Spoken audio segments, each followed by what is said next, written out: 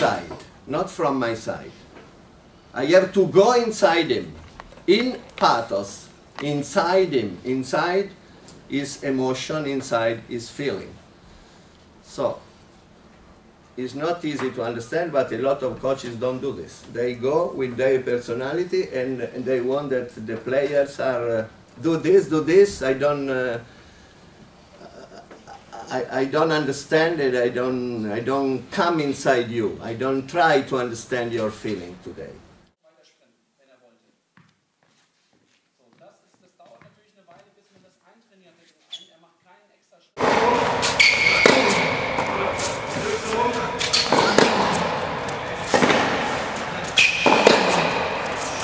Und immer wenn äh, Rafael war jung, wenn äh, ich habe angefangen, ich denke, oh, ich habe nicht so viel, nicht so gute Informationen über die Sachen.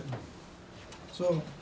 Und ich habe, ich glaube, nicht schlecht gearbeitet mit meinem Neffe, aber ich bin sicher, dass äh, wenn ich äh, äh, hätte eine bessere Information, wäre viel besser für, äh, für mich, für Raphael und für die Leute, dass ich habe trainiert. Jetzt nicht ganz am Anfang der Vorbereitung drücken, weil das kostet unglaublich viel Kraft, Aufmerksamkeit, Konzentration, ähm, Wille, diesen Drill zu schaffen. Wenn du vorher 500 durch die Mitte, 250 Cross, 250 Cross, du bist bedient. Du willst einfach hast Ball müde Beine, du hast und die müde schlagen Arme, nur noch so dir auf. fehlt die ja. Koordination und dann geht es darum, dass du das Ding teilweise um so ein Stück genau Das machst du dann auch teilweise ganz bewusst.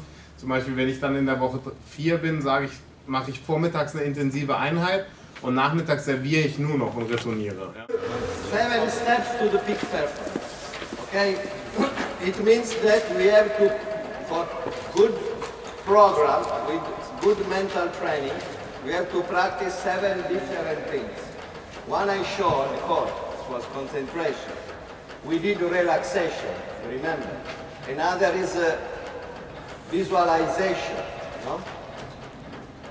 Another step is how to control your stress.